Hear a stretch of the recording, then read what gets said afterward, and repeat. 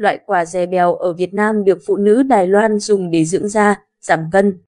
Phụ nữ Đài Loan thường dùng loại quả này trong công cuộc chăm sóc sắc đẹp.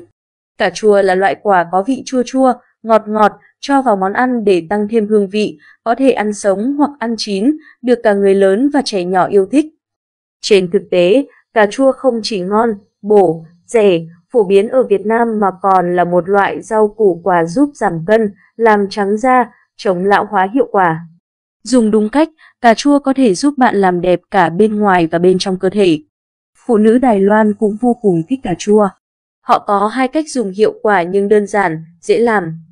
Bạn có thể tham khảo ngay cách phụ nữ Đài dùng cà chua để giảm cân, làm đẹp da giúp nhan sắc và vóc dáng ngày càng thăng hạng.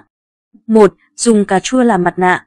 Cà chua là loại rau quả ít calo, dinh dưỡng cao, rất giàu kali, lycopene và giàu vitamin C. Lycopene có thể khử các gốc tự do, tác dụng chống oxy hóa cao gấp 100 lần so với vitamin E.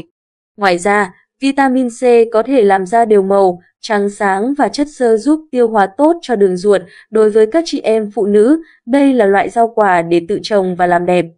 Phụ nữ Đài Loan có thể dùng cà chua trực tiếp đắp lên mặt để dưỡng da.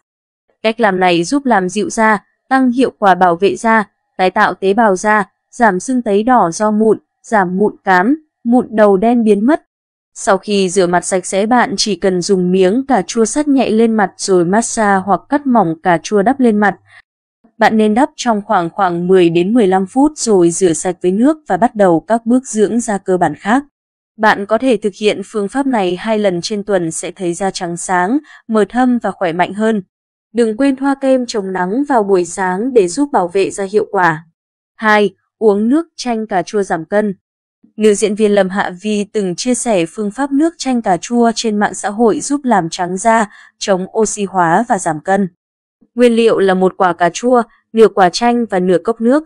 Đầu tiên bạn cắt cà chua thành từng miếng, cho vào máy ép trái cây, cho nửa cốc nước vào khuấy đều, cuối cùng bạn cho nước cốt chanh vào là có thể uống.